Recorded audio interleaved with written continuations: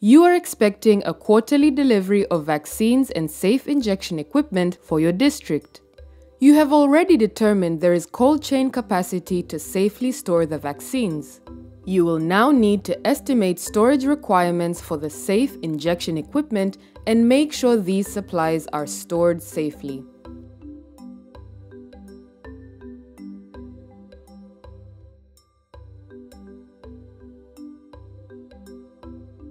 Safe injection equipment consists of auto-disable AD syringes, reconstitution syringes, safety boxes, and any droppers for oral vaccines.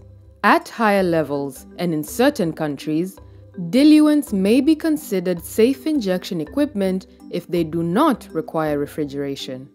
WHO and UNICEF recommend that managers order this equipment when they order vaccines, a policy called bundling, so that the vaccines and safe injection equipment are always available together.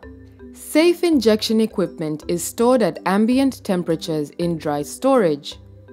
It can occupy a large amount of space, so it is important to make sure there is enough space allocated and that the equipment is stored safely.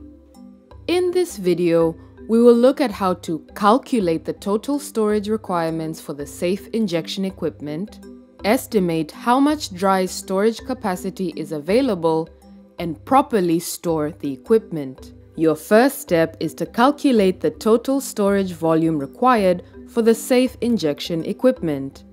To do this, you will need to calculate the storage requirement for each type of equipment, then add these together for the total volume. Let us use this table to walk through the calculation. First, list the safe injection equipment, diluents, and other supplies that you are ordering.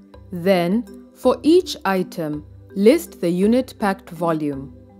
This is the volume in cubic centimeters for each unit, such as a single syringe or safety box.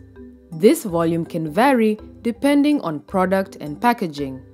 In this example, the unit packed volume of a safety box is 800 cubic centimeters. Your program may provide a table such as this one listing the unit volumes for commonly ordered safe injection equipment. You can also find this information in the WHO or UNICEF product information sheets.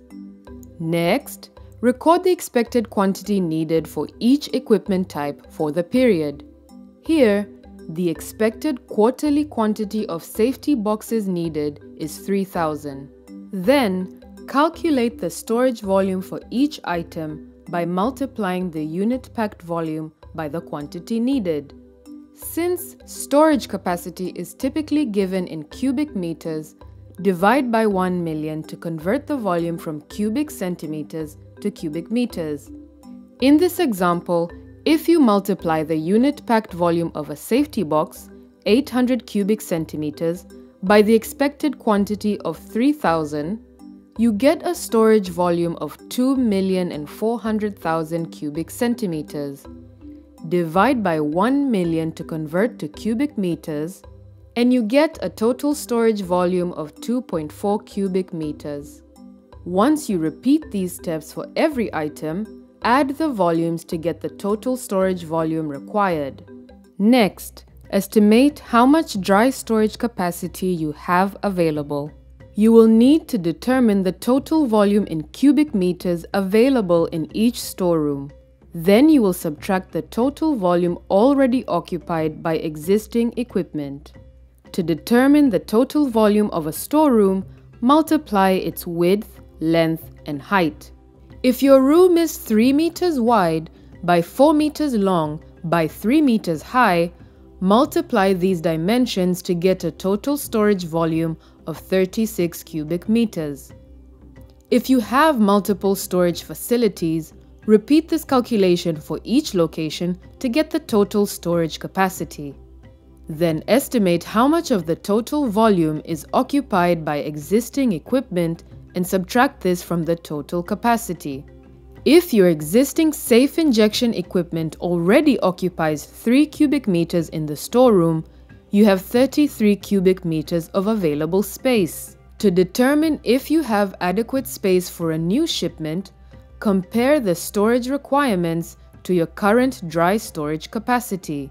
If you have ordered 15 cubic meters of equipment, that is less than the dry storage capacity, so you will have adequate room. Finally, you will need to appropriately store the safe injection equipment once it arrives. The storage conditions for safe injection equipment are more flexible than those for vaccines. Unlike vaccines, they can be stored at ambient temperatures. However, you will need to follow some general guidelines in order to avoid contaminating or wasting any materials. To keep the storeroom conditions clean and safe, you should keep the room dry and well ventilated, disinfect the area regularly, keep the room well lit, and keep functional fire safety equipment available.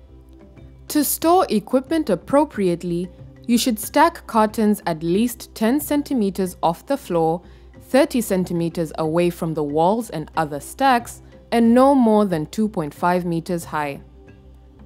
Arrange cartons with arrows point up and with identification labels, expiry dates, and manufacturing dates clearly visible.